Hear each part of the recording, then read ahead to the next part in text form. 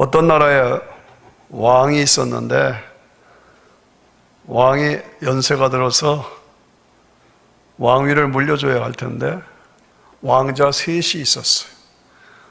어느 왕자에게 물어줄까 고민하고 있었어요. 왕위를 물려줄 것을. 그러다가 한 번은 왕자 셋을 다 불렀어. 너 저 앞에 높은 산이 있는 거 보이지? 예.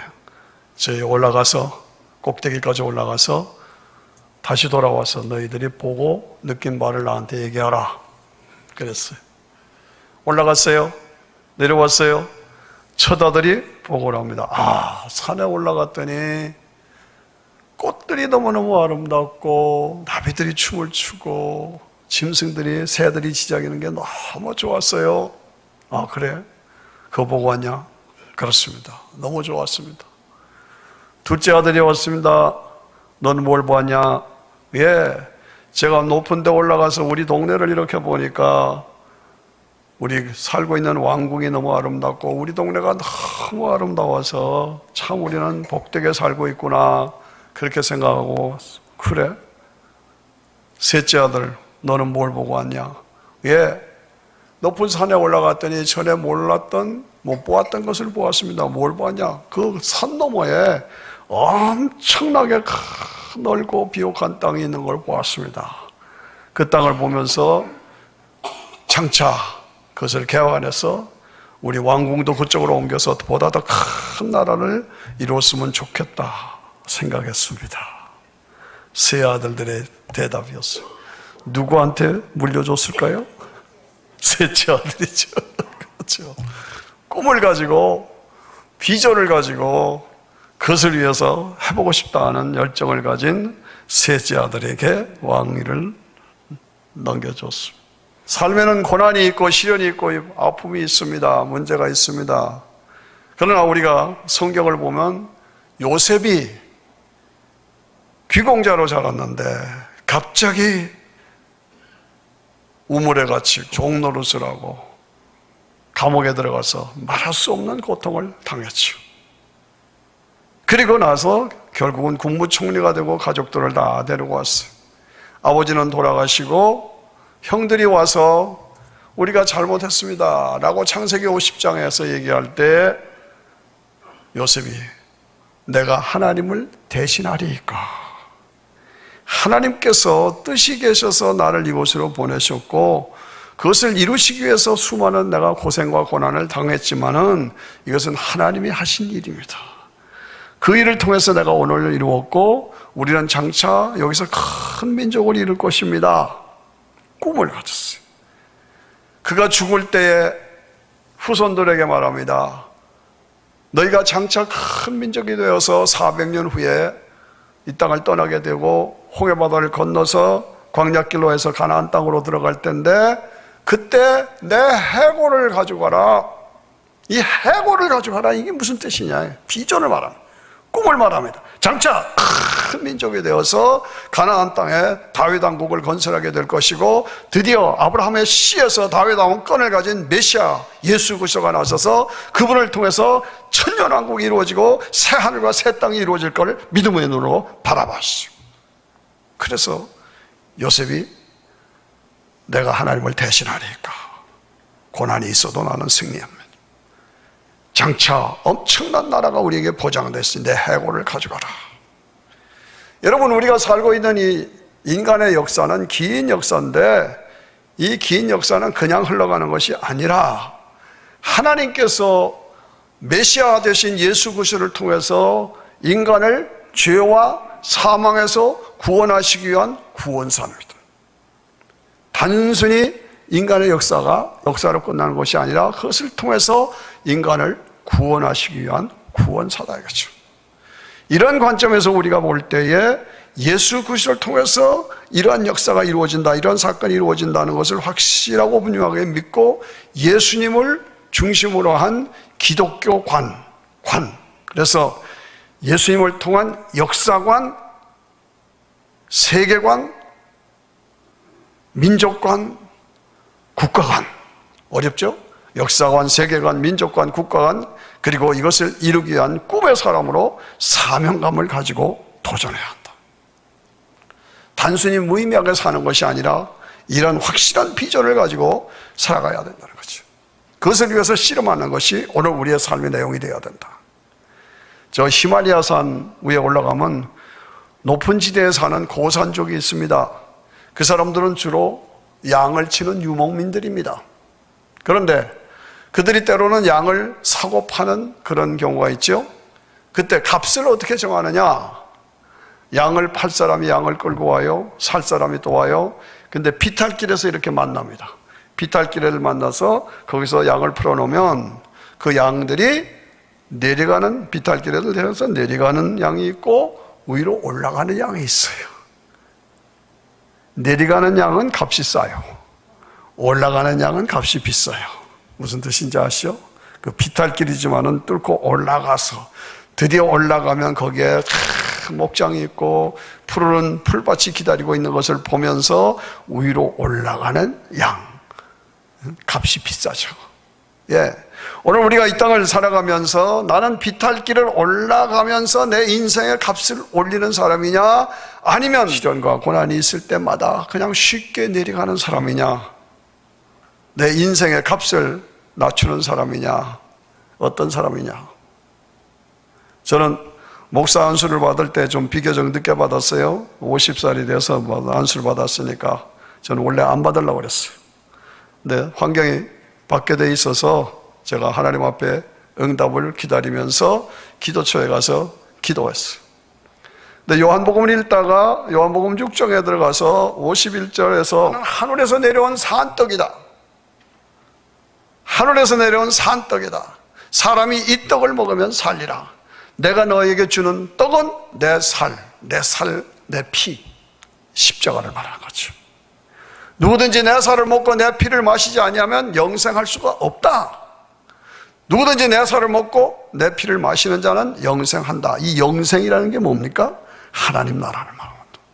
우리에게는 영원한 영원한 죽지 않고 영광을 누린 그 하나님 나라가 있다는 거죠. 그것을 위해서 예수님이 오셨다는 거죠. 그러므로 그 하나님 나라의 꿈을 가지고 그 하나님 나라를 향해서 비탈을 올라가는 사람. 올라가는 사람.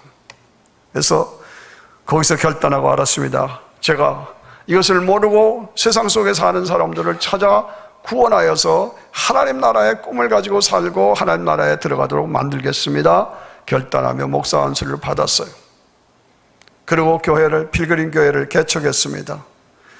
필그린 교회를 개척해서 시작할 때에 이것이 상상보다도 훨씬 어려운 일이었어요. 비탈길을 올라가는 길이었어요. 비탈길을 올라가는 시련이 있고 아픔이 있고 고난이 있고 문제가 있고 공격이 있고 오해가 있고 어려움이 눈물도 있었고 이런 과정을 통해서 올라갔습니다. 그래서 제가 이 양쪽에 피고를 써붙였어요. 내가 믿으면 하나님의 영광을 보리라. 어떤 상황에서 좌절하지 말고 올라가자. 비탈길을 들고 올라가자. 내가 믿으면 하나님의 영광을 보리라. 이쪽에서 내가 진정 예수를 믿으면 너에게 구원과 변화와 치료와 회복과 평안과 축복의 사건이 일어난다. 그것을 강조해서 양쪽에 붙여놨어. 저건 잘 외워요. 근데 이거는 20년을 붙여놔도 못 외우는 분들이 아직도 있더라고요. 좀 신기하더라고요. 제가 21년 전에 교회를 개척하고 첫 설교로 한 설교가 내가 믿으면 하나님의 영광을 보리라. 마지막 설교도 내가 믿으면 하나님의 영광을 보리라. 무슨 뜻인지 아시기를 바랍니다. 내가 믿으면 하나님의 영광을 보리라. 뭐를 믿는 거냐? 예수님이 메시아인 걸 믿으라는 거예요. 예수님이 창조주요, 예수님이 구원자요, 예수님의 영원한 우리의 왕이심을 내가 믿어라. 내가 믿어라. 잘 안 믿어져요. 어떻게 하면 믿어요? 돼요? 그런 사람 있죠? 어디서 하신 말씀이에요? 나사로가 죽어서 썩어서 냄새가 나는 나흘이나 된 그 무덤 앞에서 한 말이에요. 이 말씀을 하시고 도를 옮겨놓으라 그러셨어요. 우리가 어떻게 하면 예수를 잘 믿을 수가 있느냐? 도를 옮겨놓아야 합니다. 예, 교만의 도를 옮겨 놓으십시오. 불신앙의 도를 옮겨 놓으십시오. 불순종의 도를 옮겨 놓으십시오. 욕심에 탐욕에 세상적인 이기심에 돌을 옮겨 놓으라. 저는 전도를 해보면 안 믿으려고 아주 지나칠 정도로 저항하는 사람들이 있어요. 근데 원인을 다만 따져보면 다른 거 없어. 교만이야, 교만. 교만 때문에 안 믿어요. 나라는 것을 버리질 못해. 돌을 옮겨놓으라. 나라는 이 교만의 돌을 옮겨놓으라. 그러면 예수님이 내 안에 들어오신다. 그래서 나에게 놀라운 사건이 이루어진다. 이게 복음이에요. 돌을 옮겨놔라. 그러면 하나님의 영광을 보리라. 무슨 영광을 봅니까? 죽은 나사라고 살아났잖아요. 이게 영광이에요.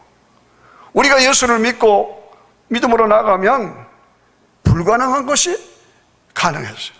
없던 것이 새로 생겨. 저주가 축복이 돼. 마귀의 자녀가 하나님의 자녀가 돼.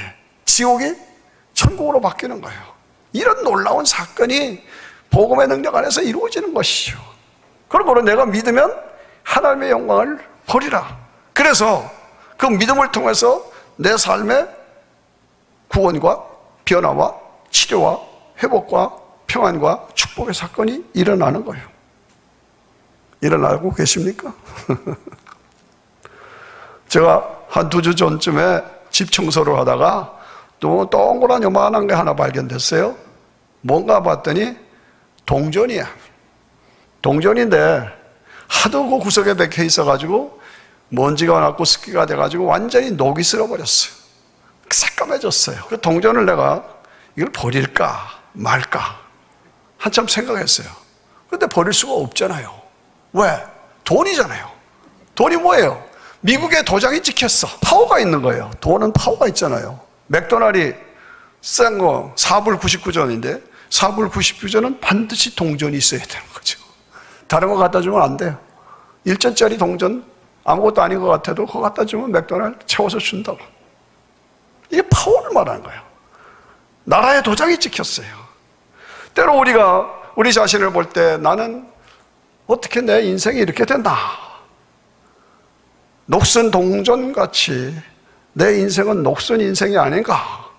그렇게 좌절하고 실망하고 포기하고 그래서 그래서 우울하고 그래서 살맛을 잊고 그럴 수도 있고 그럴 수 있는 사람 그런 사람이 있지요. 그렇다면 녹슨 인생이라고 하나님이 버리십니까? 안 버리세요. 인간은 존귀한 존재예요. 우리 인간 속에는 하나님의 신이 들어와 있어요. 저에게도 여러분 모두에게도 하나님의 신, 영적인 존재예요. 살아있는 생명이에요. 영. 하나님의 신이 우리 속에 들어와 있고 하나님의 모양과 형상이 우리 속에 들어와 있고 그래서 우리 인간은 인격을 가진 존재예요. 하나님의 고귀한 존재예요. 자유의지를 가지고 하나님과 교제할 수 있는 교제의 대상이요.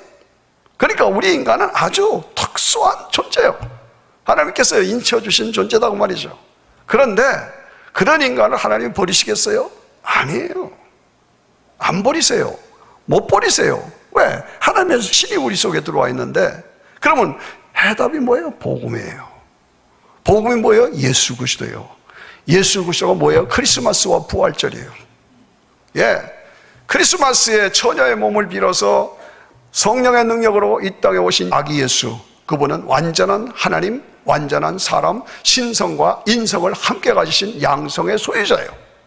그걸 우리가 아시고 그걸 믿어야 돼요. 그 자격으로 저의 죄, 여러분 모두의 죄 때문에 대신 십자가에서 저주의 십자가에 매달려 십자가에서 희생제물로 죽어주셨어요. 이걸 내가 믿는 거예요. 그리고 3일 만에 부활하셨어요. 이것은 역사적인 사실이고 객관적인 사실이에요. 역사 속에서 실제 있었던 사건이고 그래서 인류의 역사를 AD와 BC로 주전주후로 예수님 이전에 예수님 이후로 역사를 갈라놓은 사건이고 그리고 미리 그런 사건이 있을 거라고 예언된 예언의 사건이고 그것이 나를 위한 사건이다.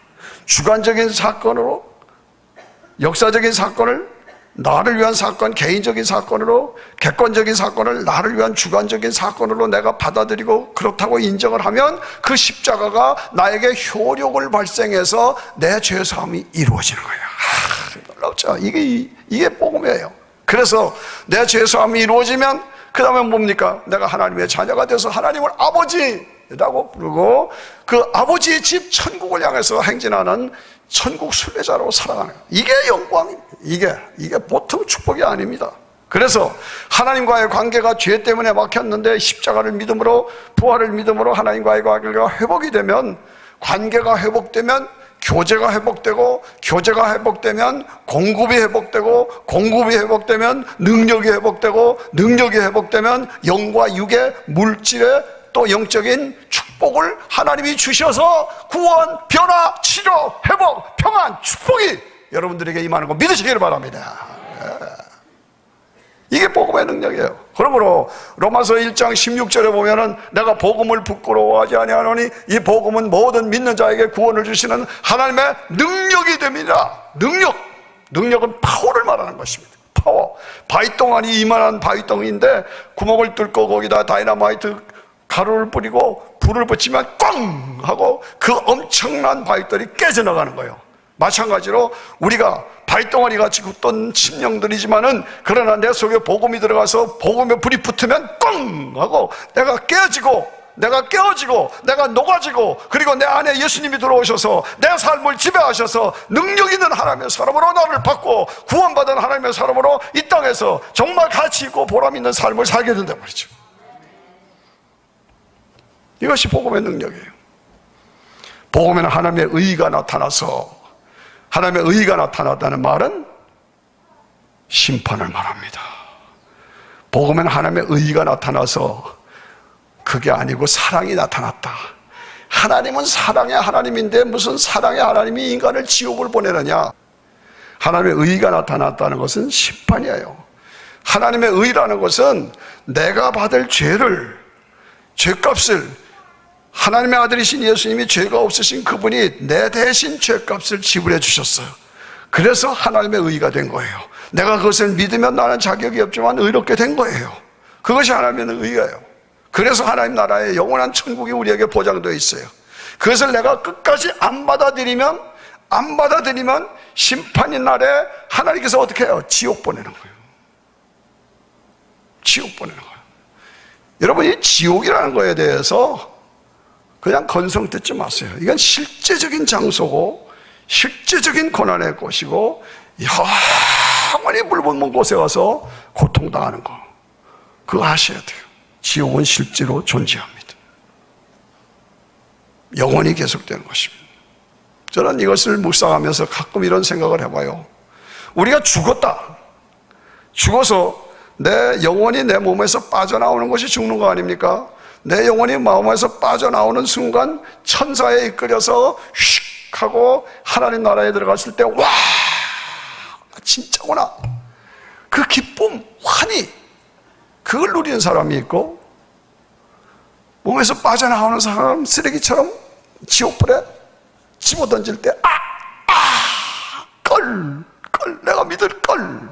이런 사람이 있고 두 종류의 사람이에요 제가 너무 지나칩니까? 예수 천당 불신 지옥은 확실한 겁니다. 우리가 이 확신을 가지고 성경은 전부 그 얘기예요. 한 번 죽는 것은 정한 것이요. 그 후에는 심판이 있으리니 심판이 있어요. 복음에는 하나님의 의가 나타나서 믿음으로 믿음으로 이르게 하나니 기록된 바 오직 의는 믿음으로 말미암아 살리라. 오직 나는 자격이 없고 부족하지만 예수 그리스도를 믿는 믿음 때문에 의는 믿음으로 말미암아 살리라. 내가 믿으면 하나님의 영광을 보리라. 믿는 자에게는 구원과 변화와 치료와 회복과 평안과 축복의 사건이 일어나고 일어날 수밖에 없다. 나는 어떤 상태인가 요 우리는 믿음을 가지고 비탈길을 뚫고 올라가야 합니다. 하나님 향을, 하나님 나라를 향해서 비탈길을 뚫고 올라가야 합니다. 그러면 이 땅에서도 하나님께서 모든 문제를 해결해 주시오. 그것이 성경의 이야기요 여러분, 가나안 여인의 이야기를 아시죠? 딸이 귀신에 들려서 말할 수 없는 고통 속에서 완전히 녹슨 인생을 살고 있었어요.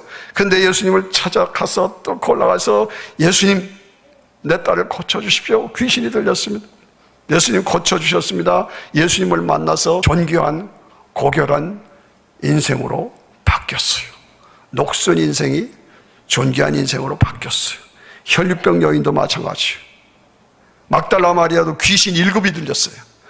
귀신 하나만 들려도 절절맬 텐데 일곱 귀신이 들렸어요. 완전히 녹슨 인간이었어요. 그러나 예수님 만나서 존귀한 인생으로 여자 수제자로 막달라 마리아가 삶을 들였어요. 여러분 이런 얘기가 복음의 능력을 얘기하면서 우리는 수없이 찾을 수가 있어요. 이 미국에도 위대한 하나님의 사람들이 이 땅을 이렇게 건설하면서 제가 한 사람 소개하는 것은 워너메이커라는 사람이 있어요. 저 사람이 누구냐? 쉽게 알려면 YMCA를 창설한 사람이 저 사람이에요. YMCA 아시죠? 그런데 시골의 벽돌공의 아들로 태어났어요.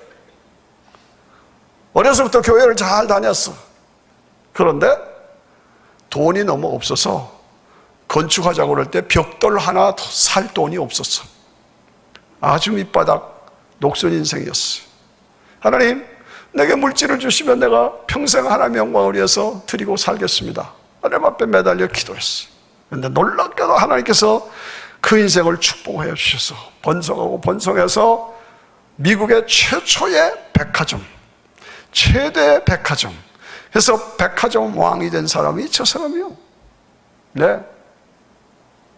주일학교 선생을 하고 19살에 헌신해서 85세까지 한 번도 주일을 빼먹은 적이 없어.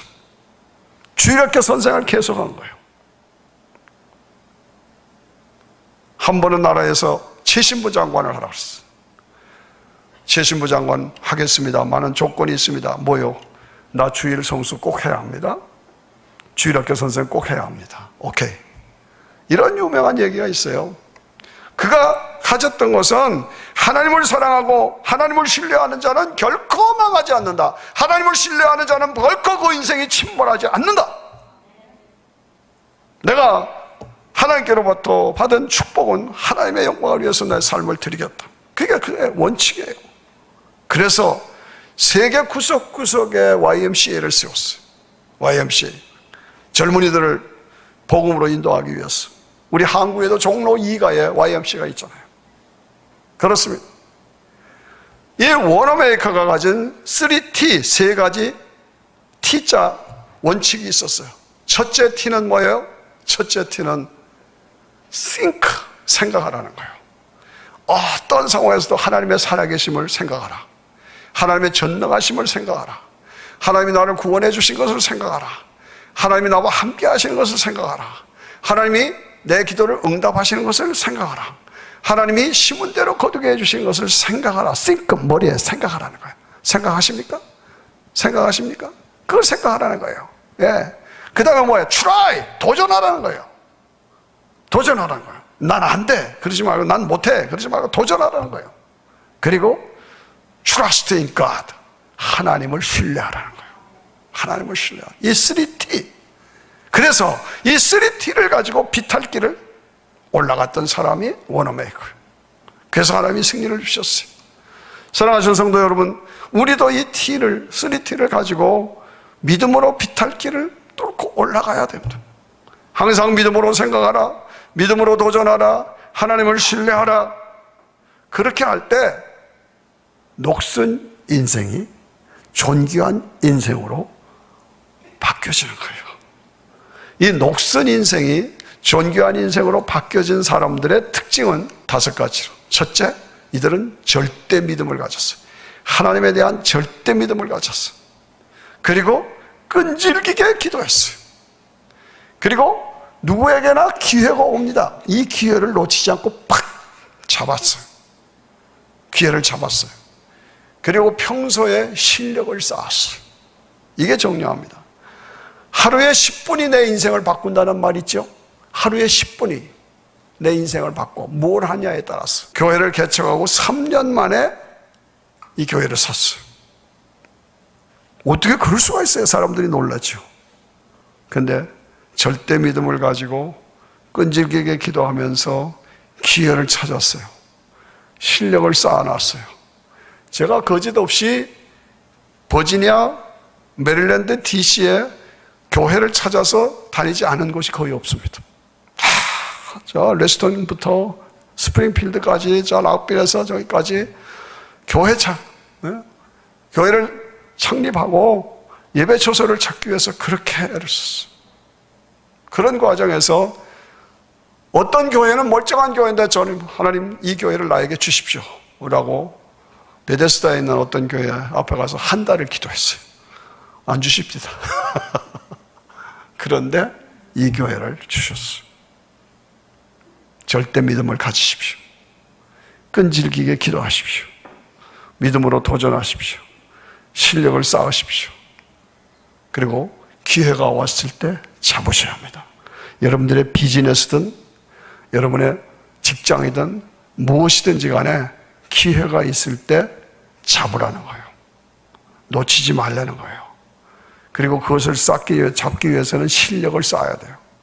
여러분, 다윗이 골리앗을 때려잡을 때 단번에 물맷돌을 가지고 단번에 때렸는데 쓰러졌다? 아니에요. 평소 양을 칠 때 사자가 와서 곰이 와서 물어갈 때 물맷돌을 가지고 빵 사자를 죽이고 곰을 죽이고 짐승들을 쓰면서 실력을 쌓았어. 그러니까 정확하게 한마디 팍 물론 하나님이 함께 하셨지만은 실력을 돼. 무엇인가 여러분들이 할 줄 알아야 됩니다. 실력을 쌓고 그리고 끈질기 기도하고 그리고 절대 믿음을 가지고 기회를 가졌을 때 잡아야 돼. 이것이 내 인생을 변화시키는 방법이에요. 그런데요, 이 네 가지 중에서 하나 더 하면 가장 중요한 것이 관계성입니다. 관계성. 우리 인간은 혼자 못 살아요. 관계 속에서 살아요. 여러분들이 사람을 한번 만나면 그분을 친구로 만드십시오. 원수 짓지 마십시오. 친구로 만드십시오.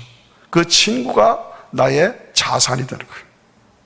그 친구를 통해서 길이 열려지고 문제가 해결되고 하나님이 함께 하시는 역사를 우리가 경험하게 돼요. 그래서 가장 인생이 성공할 수 있는 방법의 가장 핵심은 저는 쭉 이렇게 살아오면서 은퇴할 때가 돼서 지금 이 말씀을 드립니다만은 관계성에서 성공하라. 친구를 만들어라. 사방에 친구를 만드는 네트워크를 만들어라. 친구를 소홀히 여기지 말아라. 그 친구가 나의 자산이 된다. 그런데 오늘 아까 우리가 주기도문을 어, 암송하면서 기도하고 신앙 고백했죠. 이 주기도문을 가만히 보면은 이 관계입니다. 관계. 하늘에 계신 우리 아버지 이름을 거룩하게 여김을 받으시며 나라의 마옵시며 뜻이 하늘에서 이룬 것 같이 그냥 외운 걸로 쭉쭉쭉쭉 외우는 것도 좋지만 뜻을 생각하고 의미를 생각하라 그 말이에요. 거기에는 전부 관계가 들어가 있습니다. 관계가. 하늘에 계신 우리 아버지 이름이 거룩히 여김을 받으시며 나라의 임하시며 이건 뭡니까? 하나님과의 관계입니다. 하나님과의 관계에 성공하라는 거. 뜻이 하늘에서 이루어진 것 같이 땅에서 이루어지다. 그냥 땅에서 이루어지는 것이 아니에요. 예수님을 통해서 이루어지는 거예요. 그게 복음이에요. 그러므로 하나님과의 관계, 예수님과의 관계.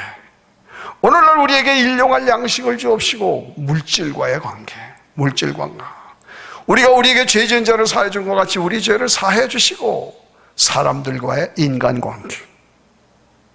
우리를 시험에 들게 하지 마옵시고 시험은요 내가 스스로 시험을 드는 거예요 시험에 똑같은 상황에 똑같은 일을 당했는데도 어떤 사람은 멀쩡하고 어떤 사람은 나 시험 들었어 나 시험 들었어 자기가 시험 드는 거예요 자기 정체성을 분명히 가지고 내가 믿음에 서 있는가 너 자신을 확신하라 흔들리지 말아라 우리에게 정체성을 세워주는 거예요 그러므로 시험에 든다 하는 것은 나 자신과의 관계에서 실패하는 거예요. 다만 악에서 고하옵소서 악은 뭡니까? 마귀 사탄을 말합니다. 마귀 사탄은 협상이 아니라 대결입니다. 물리쳐야 됩니다. 이런 것이 우리가 이렇게 주기도문을 보면서 아 하나하나씩 여러분들이 또박또박 외워가시면서 기도하시면서 이거는 하나님의 관계다. 이거는 예수님과의 관계다. 이거는 물질과의 관계다. 이거는 인간들과의 관계다. 이거는 나 자신과의 관계다. 그리고 마귀 사탄과의 관계다. 나는 어떤가? 항상 하나하나 점검하세요. 내가 하나님과의 관계가 옳은가? 내가 예수님과의 관계가 옳은가? 내가 물질과의 관계에서 실수가 없는가? 내가 인간 관계에서 실패가 없는가? 브록다운 되고 깨지고 무너진 그런 관계는 없는가? 내가 나 자신과의 관계에서 나는 확신을 가지고 자살하는 사람들의 대부분을 보면 자신과의 관계가 무너지는 거예요.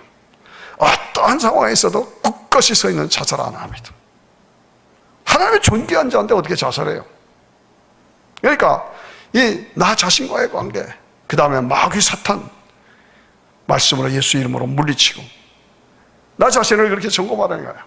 마지막에 뭡니까? 대개 주의 나라, 주의 권세, 주의 영광 영원히 아버지께 영원히 싸움나이다.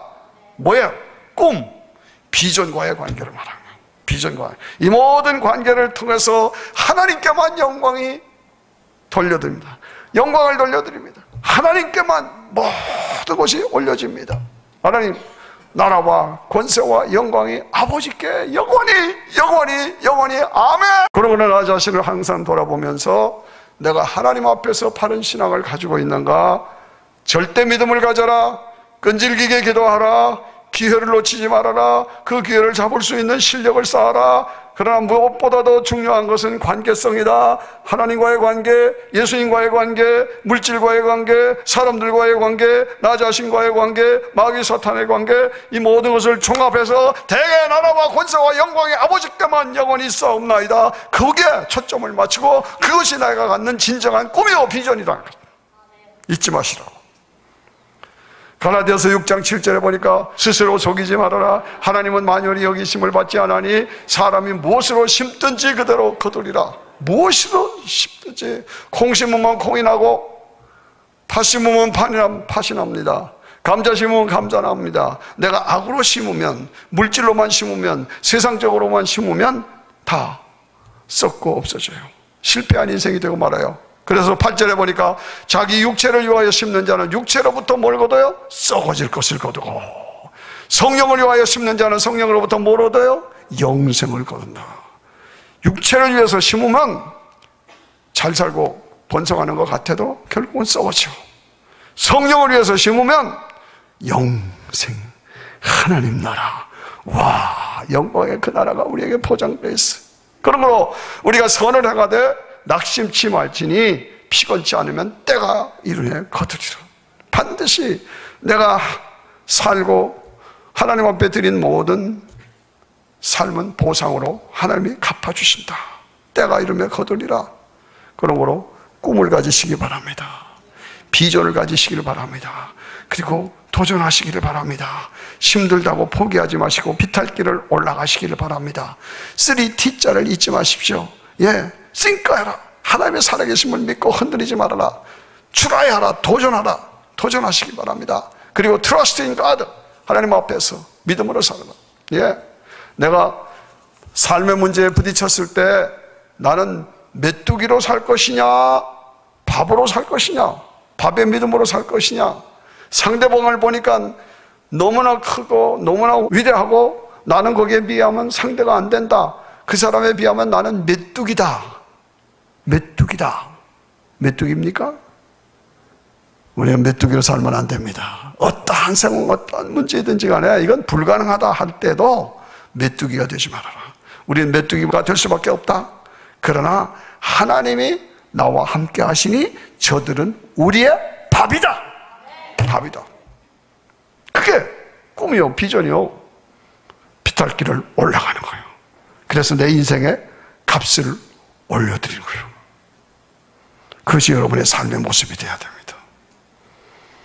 내가 믿으면 하나님의 영광을 보내라. 이쪽에 한번 읽어봐요. 시작. 구원, 변화, 치료, 회복, 평안, 축복. 믿음 안에서 저 여섯 가지가 여러분들 속에 이루어져야 합니다. 제가 마지막으로 여러분들에게 부탁하는 것은 요한 3서 2장의 말씀 사랑하는 자여 내 영혼이 잘됨 같이 내가 범사에 잘 되고 강건하기를 내가 강건하노라. 여러분들이 영혼이 잘 되어야 합니다. 하나님과의 교제 늘 기억하십시오. 내가 믿음에 바로 서 있는가 기억하십시오. 나 진짜 예수 믿고 있느냐 기억하십시오. 그래서 여러분의 영혼이 잘 되시기를 바랍니다. 그렇게 하면 범사가 잘 돼요. 하나님 축복하셔요. 그리고 강건함을 주세요. 예? 내 영혼이 잘된 것 같이 내가 범사에 잘되고 강건하기를 주의 이름으로 축원합니다. 아멘 하십니까? 형제들이 와서 내가 내게 있는 진리를 증거하되 내가 진리 안에서 행한다 하니 내가 심히 기뻐하다. 진리는 뭡니까? 예수 그리스도가 진리예요. 여러분 모두가 진리 안에서 예수님 안에서 살아가고 있다는 것을 내가 들을 때에 내 기쁨이 됩니다. 저에게 이런 기쁨을 주십시오. 저는 은퇴하고 또 조금 위치적으로 거리적으로 떨어질 수도 있습니다. 그러나 여러분들이 예수님 안에서 신앙생활 잘하고 승리하고 있다는 것을 들려주십시오. 그래서 그것이 나의 기쁨이 되게 해 주시기를 바랍니다. 내가 진리 안에서 행한다함을 듣는 것보다 더 즐거움이 없도다. 제가 무엇을 더 찾겠습니까? 여러분들이 진리 안에서 살고 진리 안에서 행한다는 것을 듣는 것보다 제게는 더 큰 기쁨이 없고 더 큰 즐거움이 없습니다. 그 즐거움과 기쁨을 제가 누릴 수 있도록 여러분들이 그렇게 살아주시기를 소망합니다. 기대합니다. 도전합니다. 여러분의 삶에 이러한 내 영혼이 잘 되고 범사가 잘 되고 강건한 축복, 진리 안에서 행하시는 삶, 이 삶이 여러분 모두의 삶이요 승리가 되시기를 주의 이름으로 축원합니다.